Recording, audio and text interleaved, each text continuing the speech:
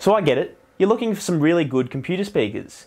Now, you're wanting something that actually sound decent and aren't made of plastic and aren't rubbish. Now, nowadays that's actually hard to come by. But you've come across these, the YU4s. Today, we're going to open them up for you, show you the features that they have, and give you a sound test so that you can work out if they are worth your money. So, let's get straight into it. Check the mic and make sure it sound right, boys.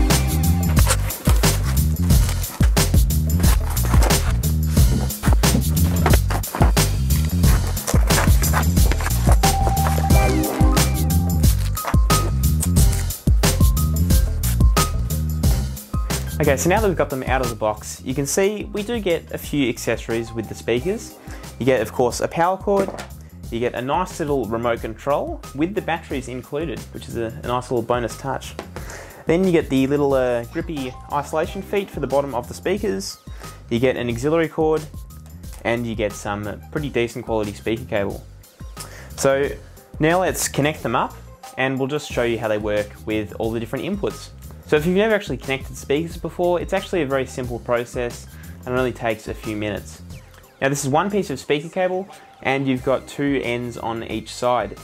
Now the wire is exposed and sticking out of the plastic and each wire has a red and a black side. So you've got a positive and a negative. Now on the back of the speakers, you've got two connections. You've got a red connection, which is positive, and a black connection, which is negative. So it's pretty self-explanatory. You just unscrew the little knobs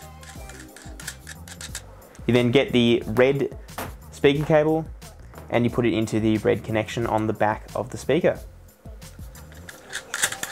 Now then tighten back down those knobs and make sure the knob is actually touching the metal part of the wire and not the casing. Do the same with the black side.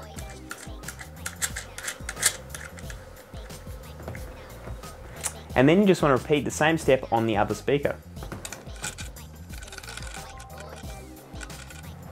Now that they're connected, next step is plug them in. So now that we've got the speakers connected up and plugged into the power, the next step would be to put the isolation feet on the bottom. So flip the speakers over, get your little isolation feet, pretty simple. They're almost just like a sticker, peel off the backing and stick them onto each corner of the back of the speakers. I'll just do all of those and I'll get back to you. Once that's done, flip the speakers back over, place them down, and now you'll actually feel when you're putting them down, it's much more cushiony, more stable, and they don't slide around.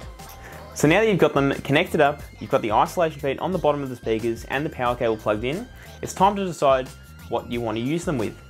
Now in terms of connections, these speakers have a lot. That is exactly what makes the YU4 such a versatile speaker. Now let's take a look. Starting at the top, you've got an RCA input, right and left, and then below that, you've actually got a ground connection. That means that this has a phono input, so you can use it with a turntable. It's also got a sub connection there. So that means you can plug a full-size subwoofer into these little speakers to make them better for home theatre or just for a better music listening experience. Now, you've got the phono and line switcher there. You've got a USB output for charging, such as a streamer if you have one with you, or your phone, it's just a really nice thing to have power on the back of the speaker. Then below that you've got an auxiliary input and you've got two optical inputs as well. Now that means that you're actually going to be able to use these with your TV. That is such a handy feature. So you can have one on each end of your TV cabinet and even if you wanted to, plug in a subwoofer and then you're going to have an awesome home theatre experience.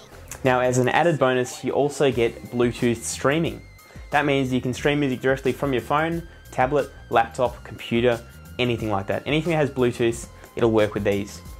Now, in terms of how to actually use these, they do have this little knob on the front. To turn them on, you just click it and hold it, and then you will see a little indicator light come on in this little black circle down the bottom. Then to switch between sources, you simply click the button. You'll see a blue light come up when it is in Bluetooth pairing. Now that the light's flashing, I'm going to connect my phone to the speakers and we'll give them a test. That was incredibly simple to connect them. It literally took 10 seconds. Anyway, now that we're connected, I'm going to give you a quick sound test. So I'll space them apart a bit so you get a better listening experience. And I'd like to know what you think of them. After you've had a listen, let me know in the comments down below what you thought of the YU4's sound. So, Let's take a listen.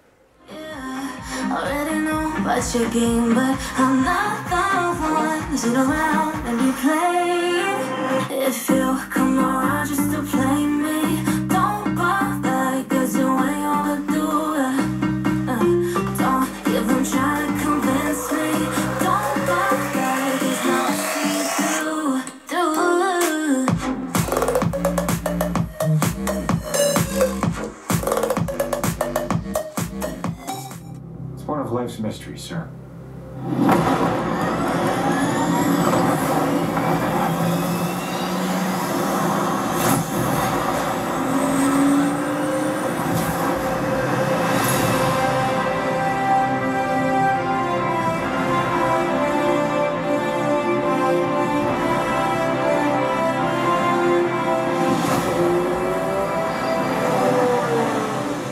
So what did you think?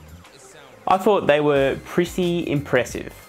For the size of these things, you do get an incredible amount of detail from them and also bass.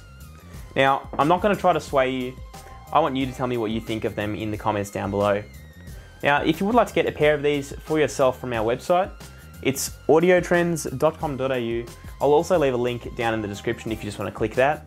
And if you've got any questions about the Kanto YU4s, you can give us a call on our number, which is 03 9874 8233.